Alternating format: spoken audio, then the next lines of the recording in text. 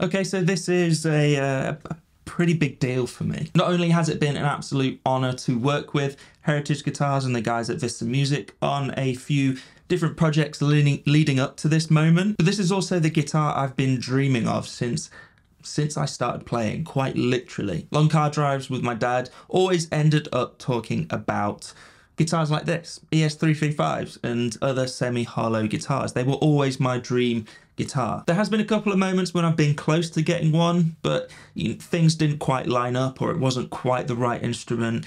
And all said and done, I'm really happy that I've waited for this moment because it's made it all the more special getting to know this guitar.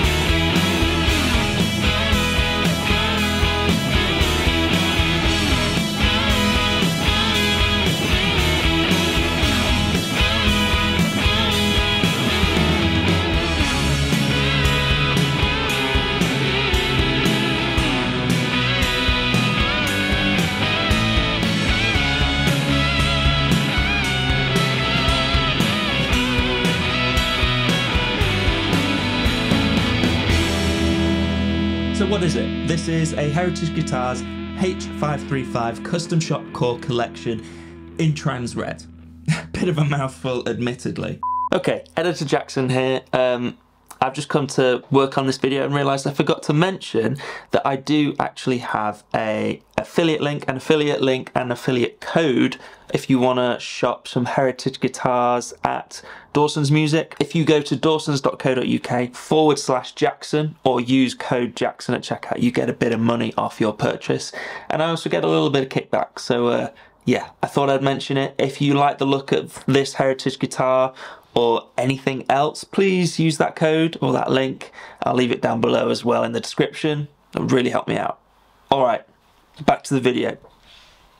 It's fairly obvious where the roots of this guitar come from, um, but it is pretty much the best of what heritage, heritage guitars can make. It's top of their range, basically, which kind of gives me shivers just to say. If you watched my video from a few weeks back, when I had a look at the Goldtop H150 that was also custom shop, um, you'll remember some of the vantage, advantages that you get from going custom with Heritage. And some of my favourite things from that guitar have carried over to this one as well. Namely, uh, the vintage gloss nitrocellulose finish.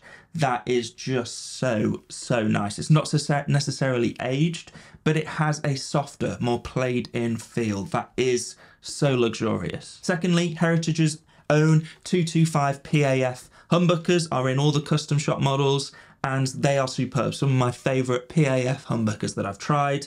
They sounded great in that gold top and they sound still excellent in this 535. And of course at the core of Custom Shop you get the best woods that they can get their hands on and this is even more evident in a guitar like this compared to the gold top because not only can you see the flame of the guitar through the finish but also I think a bigger bodied semi-hollow has a more naturally woody feel and sound anyway. Before I gush over this guitar anymore, I think we just need to get some tones real quick.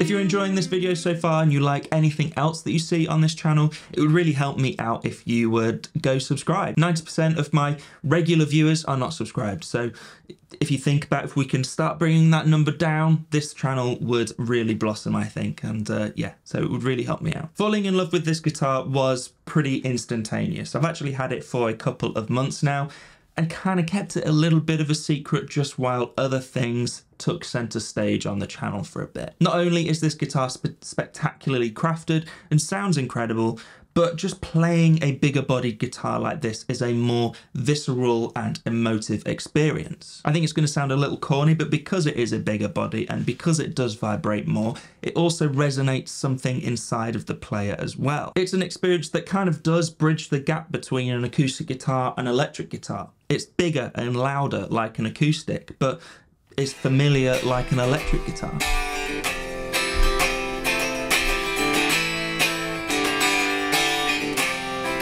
It's a guitar that's just as at home playing unplugged on the sofa as it is plugged into a massive amp rig. One thing I have noticed about getting to know this guitar is how full the low end is. And it's not a it's not a um, sort of woolly, flubby low end that you would just shelve off an electric guitar once you get it in a mix. It's a natural, blooming low end that expands and kind of blossoms as you let chords ring out. And it's the sort of thing you can only get from a construction like this.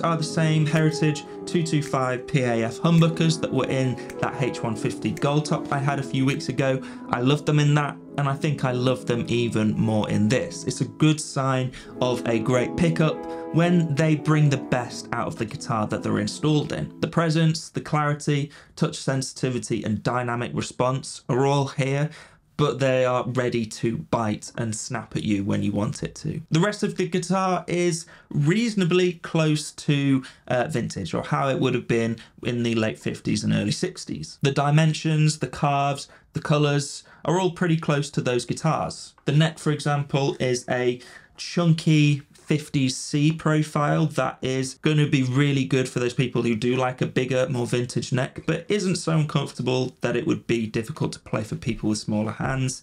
I love the feeling of this neck, and the feeling of that vintage gloss nitrocellulose just helps give the impression that this is an old guitar that's been left under someone's bed for 50 60 years you know i've i've only had it for like i said a month or two and the finish is already sort of buffing and getting a little uh, more satin in places where I'm playing. And but for me personally, I love that. It's already becoming my guitar in that sense.